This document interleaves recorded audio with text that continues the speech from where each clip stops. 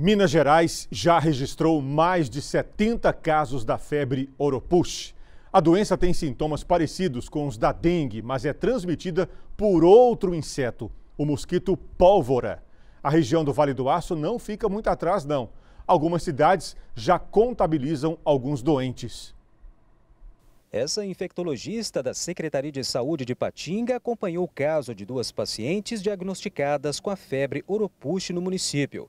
A médica conta que as mulheres, ambas com mais de 70 anos, estão bem e não apresentam mais os sintomas. As duas pacientes se encontram bem, recuperadas, né? Vivendo a vida delas normalmente, nas casas delas, graças a Deus. A febre do oroposto geralmente assim, ela, ela, tem uma evolução bem benigna mesmo. Embora tenha uma sintomatologia parecida com a da dengue, geralmente a evolução é benigna. Os sintomas começaram em abril e desde então as pacientes foram acompanhadas por equipes de saúde do município. Esses casos foram identificados agora no final de mês de maio, né? Amostras aleatórias que foram feitas testando o Oroposto pela FUNESC, que é o nosso laboratório de referência do estado de Minas Gerais, nós fomos comunicados no final de mês de maio. Mas essas idosas, elas apresentaram uma sintomatologia de Oroposto em abril. A maioria dos casos da febre Oropuste se concentra no Vale do Aço.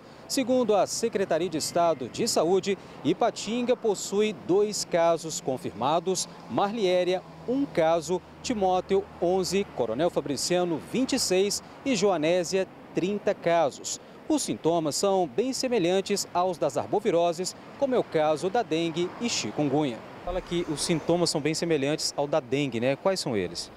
Paciente vai apresentar né, um quadro agudo de febre, dor no corpo, dor de cabeça, diarreia. E uma coisa assim que é um pouco diferente no caso da Oroposto, que o paciente ele pode ficar mais irritado com a presença de luz, ficar incomodado. E outra característica também que a Oroposto pode apresentar e que a gente não vê na dengue normalmente, é o que a gente chama de recidiva. É aquele paciente que ele vai ter essa sintomatologia que eu falei durante mais ou menos uma semana, assim como a, a dengue, ele vai se recuperar, mas muitos casos, depois de mais ou menos uns 10 a 15 dias, pode ter a recidiva, ou seja, vai apresentar sintomatologia novamente. Começa a ter febre alta novamente, dor no corpo novamente.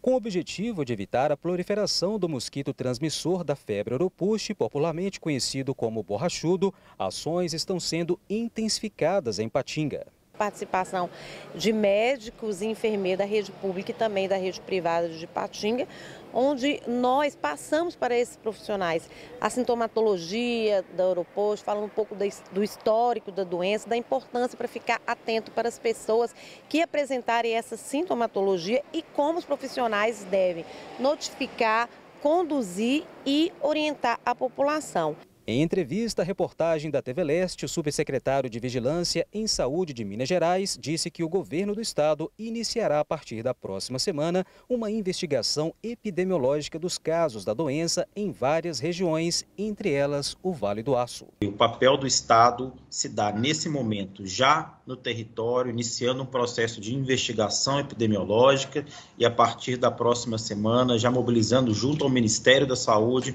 para termos estado e ministério Ministério fazendo uma investigação, buscando compreender como se deu o cenário desse vetor que chegou em Minas Gerais, como se deu é, essa transmissão, investigando as pessoas que já tiveram ali é, a transmissão por esse vírus que é novo em Minas Gerais, ou seja, o Estado de Minas Gerais está buscando compreender esse cenário, compreender a situação individual de cada pessoa é, que for aí é, picada pelo maruim ou inseto é, que passa essa doença, buscando compreender nos territórios como isso se dá. Basicamente, é, esse mosquito ele se situa muitas vezes em regiões próximas a rios, é, beiras de rio. É, manguezal não é o caso de Minas Gerais, é mais típico ali da região amazônica.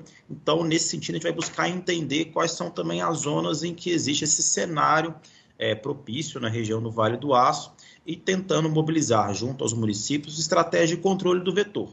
Em caso de suspeita de algumas das arboviroses, a recomendação é procurar o quanto antes uma unidade básica de saúde. As pessoas que apresentarem essa sintomatologia mais leve, que é o que a maioria vai apresentar, graças a Deus, de febre, dor no corpo, dor de cabeça, deve procurar a unidade de saúde mais próxima da sua casa. As UPAs, os prontos-socorros, as unidades de emergências, elas devem ser procuradas em caso dos pacientes que apresentarem algum sinal de gravidade. No caso do aeroporto, né, em alguns casos pode evoluir com algum tipo de sangramento ou até mesmo comprometimento do sistema nervoso. Se a pessoa ficar muito confusa, é, começar a perder né, a força que tem para caminhar, nos braços, nas pernas, né, para caminhar. Então, essas pessoas é que devem estar procurando a unidade, a unidade de pronto atendimento, as UPAs.